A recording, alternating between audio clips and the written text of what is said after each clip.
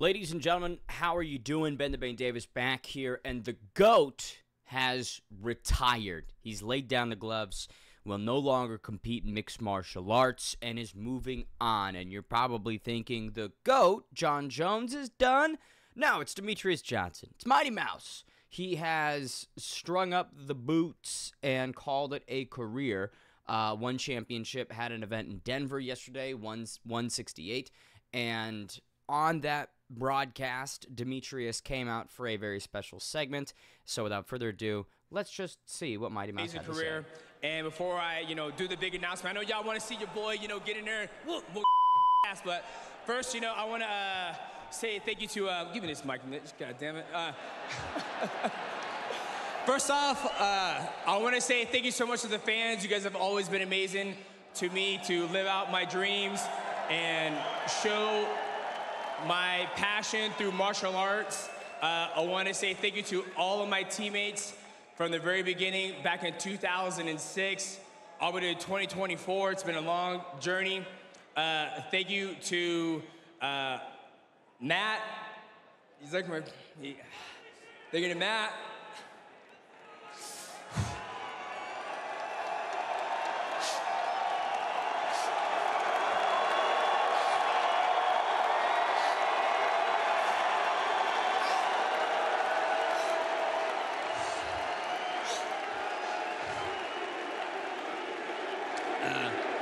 Thank you to Matt. Thank you to uh, my wife. Thank you to my wife. Thank you to my children. My mother-in-law, father-in-law. Fuck. Get your shit together, dog.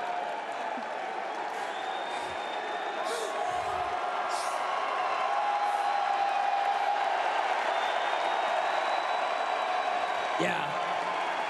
Uh, thank you to you guys. You guys have made me a better person, a better athlete.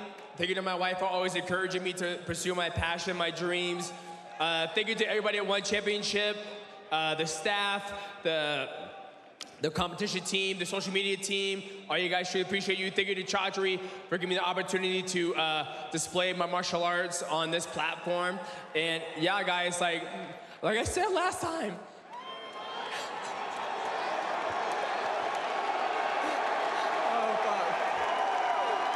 Like I said last time, I sound like a damn mouse. Uh, like I said last time, when I came here to Denver, Colorado, I told you guys that was potentially my last fight, and I was not lying.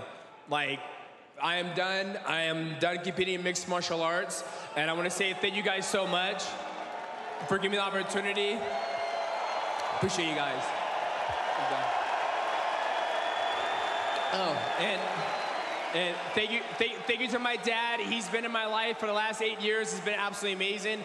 To my children, I love you guys. You guys are absolutely amazing. You guys do whatever you want in life as long as you guys are good people. My wife, I love you. Like, and yeah.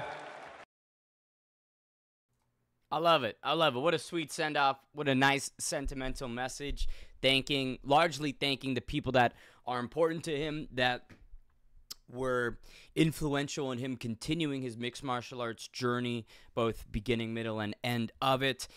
Just a beautiful message. Just a, a, a nice piece where, you know, he's all class. And I've seen a couple people that clowned on the voice breaks or, um, you know, the, the emotion, which is like, fuck off.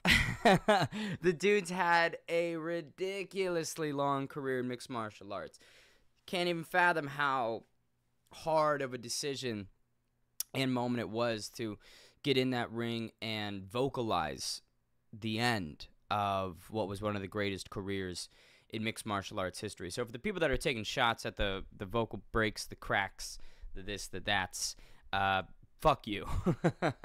uh, but I did want to take a special moment to talk about some of Demetrious's achievements because we talk about GO, we talk about greatest of all time, but I feel Demetrious Johnson's biggest accolades and moments were several years ago, admittedly, right? And there might be this new wave of mixed martial arts fans that don't even comprehend what Demetrious did, myself included. I began watching in 2017. I got to see, I believe, the end. Uh, Demetrious Johnson, Tapology. So if you go back to 2017, um, ba, ba, ba. yeah, like right about when I started watching mixed martial arts, um, and and getting more involved as a fan was Wilson Reis when he defended the belt, Ray Borg when he got the uh, you know the the whiz bar on him, and then the split decision to Henry Cejudo. I I believe I watched this fight. I'm pretty confident I watched it. But then he went to one championship and was there for the last five years. You know, it had some deeply memorable performances. The Rodtang fight was historic. The Adriano Moraes, you know, knockout was the only time he'd ever been finished in mixed martial arts. His entire career, he fought the best of the best. And the only time he was ever finished was a gigantic fucking uh, bantamweight uh, in, in Adriano Moraes. And it is interesting how the odds completely shifted from minus 700 in their first match to minus 120 or minus 170. So um, if you're a betting man, then you probably looked at the second and third fight as good economic opportunities. Uh, but either way, you know, I'm I'm not I wasn't familiar. I was not around for his reign, his rise, the uh, clash with Cruz in 2011, which was a pretty historic fight, all things considered. So Aaron Bronsteter amazing. Go follow. Best, one of the best in the business. Uh, he put together some flyweight records that are held by Mighty Mouse to this day. Remember, Demetrious Johnson has not. What is going on here?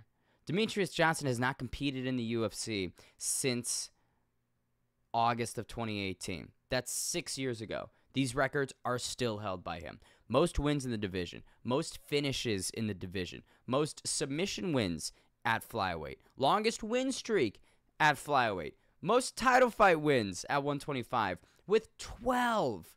That's that's not going to be beat, guys. No one is stringing together 12 wins or excuse me, 12 title fight wins. Uh, I like Pantoja a ton.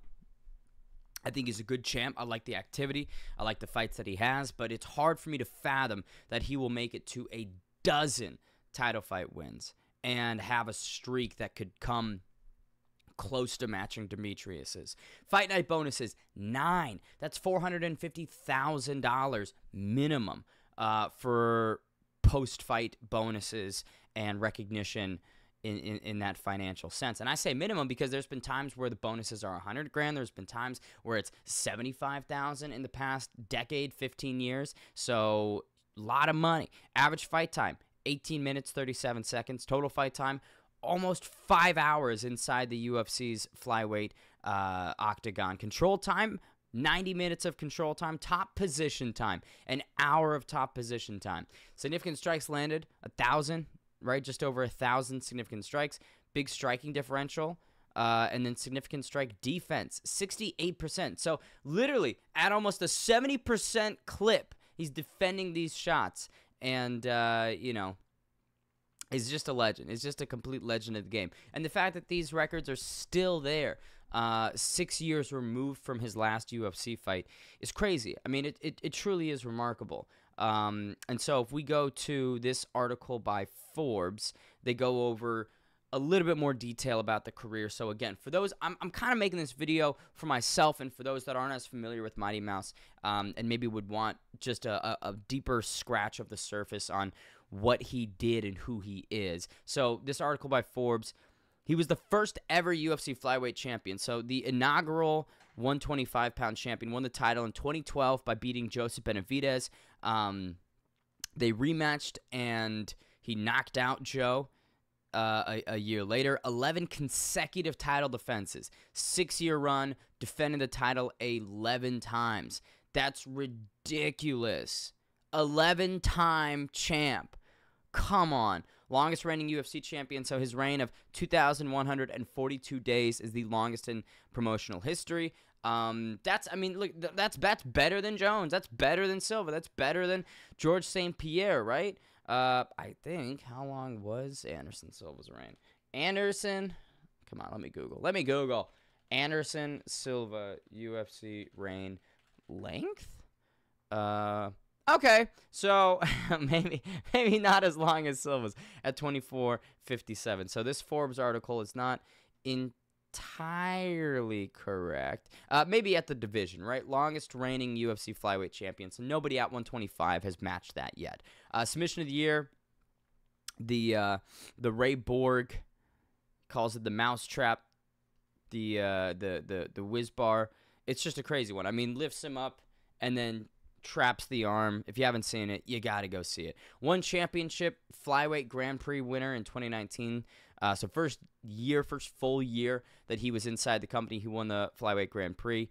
Um, and that's, I mean, that's just scratching the surface. I feel like that's not even covering uh, everything that he accomplished in mixed martial arts. We aren't even talking about the grappling accolades. We aren't even talking about what he's done in the last two years in the BJJ world. So the man is a consummate professional. He is a mixed martial artist through and through, loves the game more than most, and constantly learning, educating himself, educating others. That's what I love so much about Demetrious Johnson is the high IQ, the intellect. He's always absorbing, trying to better himself, his game, and those around him. So I just, you know, I, I, I don't have much more to say other than I wish I was around to see the dominance and those 11 consecutive defenses. I wish I was around to appreciate how dominant this guy was. People talk about Jon Jones and the dominance that he had. Demetrious Johnson is in that same category, that same conversation.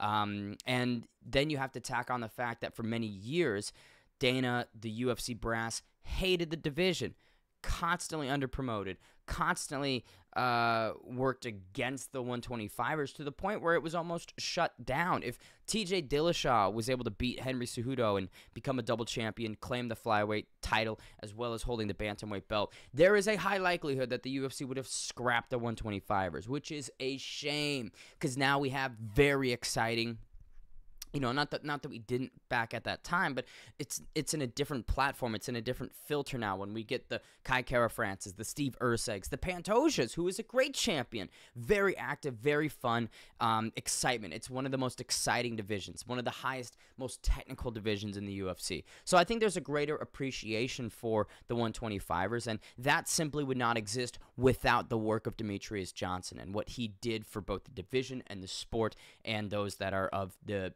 same stature, right, uh, that competed at that weight class. So um, it's truly historic what this man did. I, I don't think it can be stated enough or emphasized enough how impactful he was to mixed martial arts. Rarely can we say this. Rarely can we sit and say that somebody had a profound impact on the entire sport. Uh, but Demetrious Johnson did.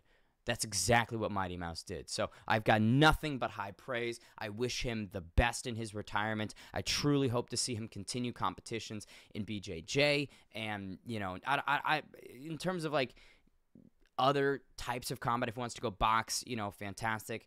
Uh, I, I fully support him in that realm. But whatever he wants to do, I support it. Can't wait to see it. I hope you guys enjoyed. And, um, you know, let's let me know down below. Favorite Mighty Mouse moment. Leave it down there and uh, let's have a fun discussion. Like, subscribe. I'll see you in the next one.